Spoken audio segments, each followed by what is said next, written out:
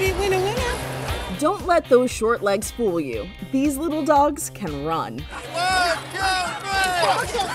Los Alamitos Racecourse is known for horse races, but on one special night, the track goes to the dogs. About 7,000 fans packed the stands for the Wienerschnitzel Wiener Nationals, where 104 beloved dachshunds ran for the title, fastest wiener in the West. Okay, you ready?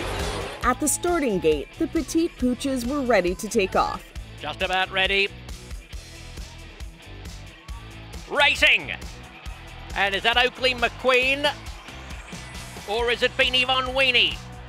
I believe that was Beenie. Spearing down the middle of the track.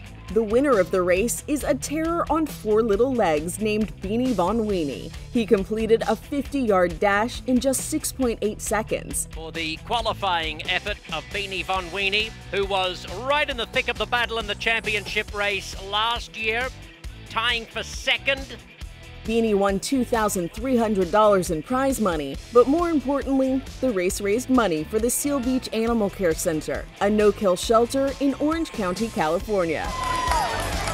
For Inside Edition Digital, I'm TC Newman.